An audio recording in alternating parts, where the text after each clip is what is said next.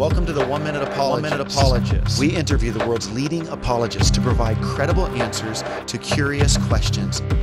So, Bobby, let me turn the uh, tables on you and put you on the other side of the microphone. Um, as an apologist, somebody who does a lot of apologetics work, the one minute apologist, and so as somebody who has uh, talked about this topic before in past videos, which is how we got to know each other and, and connect, why do you think it is that the evangelical world, so many uh, apologists, so many pastors and professors, have such an aversion, have so much hostility toward those of us who hold to um, something other than the traditional view of eternal torment in hell?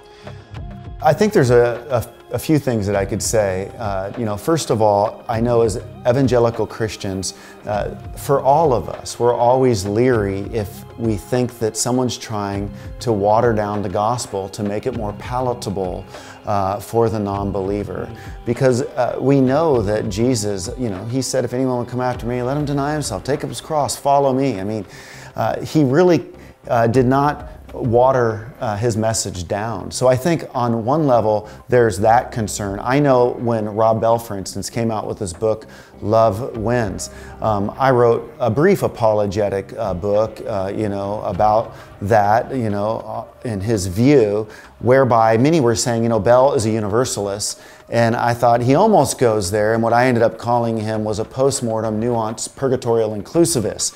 Uh, I know that's quite a mouthful, but my burden and my concern was okay, it seems as if we're, you know, eliminating the, the need to share the gospel, uh, we're just kind of reducing that down.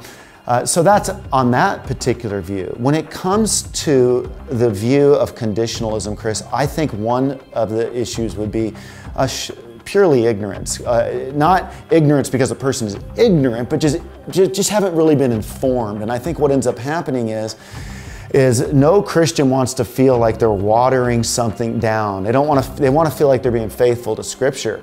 I think there could be confusion about annihilationists uh, in that particular uh, piece of conditionalism as it relates to is this the same as what a Jehovah's Witness would see it as? Is this the same as maybe an atheist would see it as? And once we kind of see a scrub and we see something like, okay, this is what you're doing here. You're looking at the scriptures, you're trying to find the best way to answer it. Then I think all of a sudden we become more open to learning about that. And I think that's why we're seeing lots of voices saying, hey, you know what?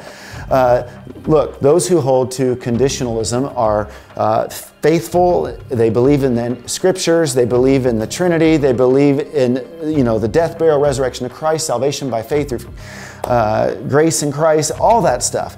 We're just struggling with the nature of this uh, eternal uh, destiny and what happens to the unbeliever. And so, for that, for me, it uh, it would make me want to be uh, a unifier yeah. with, with you, Chris. I would say that we should unify and we should all study because we want to know what the scripture teaches. And we don't want to put our emotions first. We want to make sure we are willing to go and see what the text says. So, for those reasons, uh, maybe not being informed, worried they're making the gospel more palatable, and I think the other thing would be just sometimes we, we care so much what people think about us that we would rather people think us a certain way than even come out and say, This is what I believe the scripture really teaches. And I think that's what you call lack of integrity.